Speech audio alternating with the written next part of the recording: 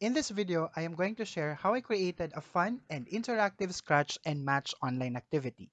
I will demonstrate the step-by-step -step instructions on how to do it with Google Slides to create the template, then set that template as background in Google Jamboard, which is the one that we will share with students. Let's start. The first step is to create the template in Google Slides. Let's go to slides.google.com. Click the blank button to create a new file. Go to the upper left corner to rename. Choose a blank layout and close the theme sidebar. Let's change the background to green. Add a rectangle shape and change its fill color to white.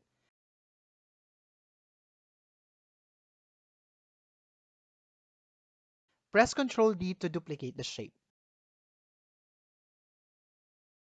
Put them to the center of the slide.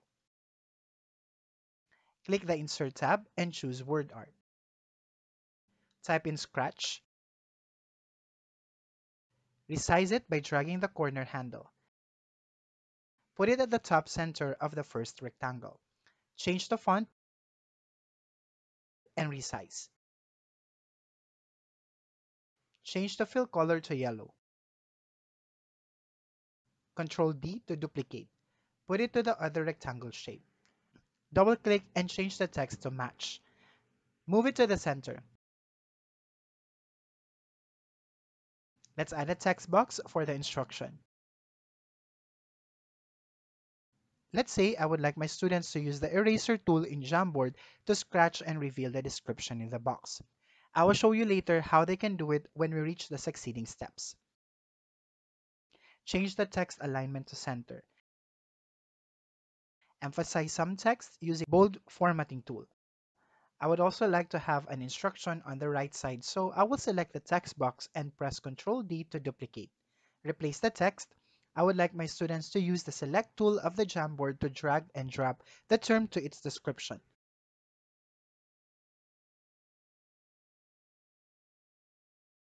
I will add another rectangle shape. Change its fill color to blue. Double-click the shape to type in the first description that the student is going to identify. Press Ctrl D to duplicate the shape. Replace the text with a second description. I need another rectangle, so I will press Ctrl D. Change the text to the third description. Let's have another description, so I'll press Ctrl D again. Here, I will enter the fourth description. I am done creating the template in Google Slides. I need to download it as an image. Go to the File tab, choose Download, and select PNG. As we can see in the lower left corner, the PNG file has been downloaded. At this point, we will proceed to the second step, which is to put the template to the Jamboard file. I will open another tab, type in jamboard.google.com. At the lower right corner, click the plus or create new jam button. On this new jam, go to the upper left corner to rename the file. Click the Set Background button and choose the Add Image option. I can either browse the PNG file that we downloaded earlier or I can just drag the file to this window. This means the template that we created in Google Slides earlier has become the background of this frame. Students cannot move or modify it. The third step is to prepare the Jamboard activity for students to answer. We are now going to do some finishing touches on this file before we share it with the students. I would like to add a mystery effect and make the activity more interesting, so I would like these boxes to be covered. I will add another layer which the students will scratch later on. To do that, let's go to the pen tool, choose highlighter and select color red. Begin using the highlighter to fully cover the box.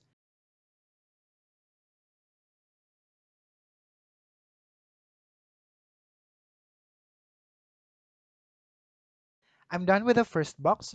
Let's proceed to the second box. I will do the same instructions for the remaining boxes. At this point, I'm done putting the layer to scratch on all the boxes. On the other side, I need to put the name of the professions or the terms that the students will drag and drop to match with the description. I can either use a text box or a sticky note.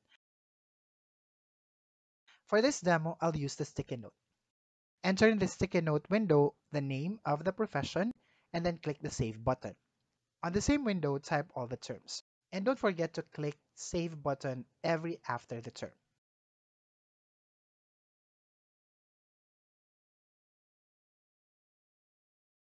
Move all of them to the right side.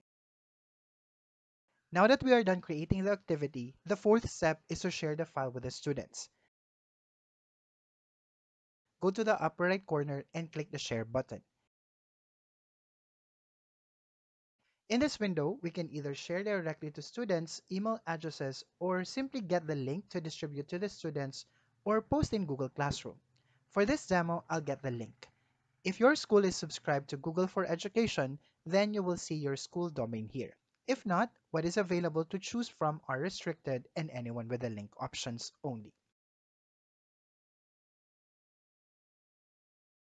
I will choose Editor Access, copy the link, and press Done.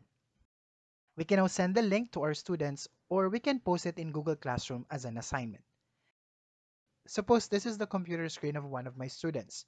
You will just copy the link I sent to them and paste it into the address bar of the browser.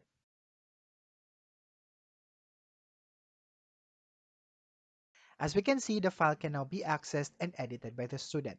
He will just simply follow the instructions. As stated, he needs to use the eraser tool to scratch and show the description. As expressed in the other column, he has to use the select tool to drag and drop the correct sticky note and put it across the description.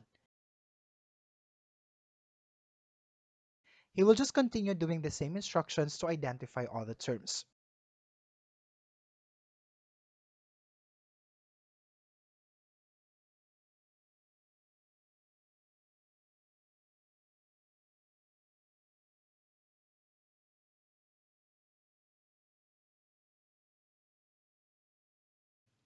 After the allotted time, the teacher can now check the output of the students.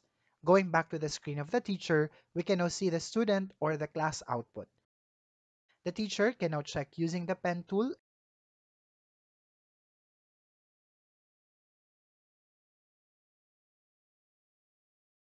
and provide feedback using the text box.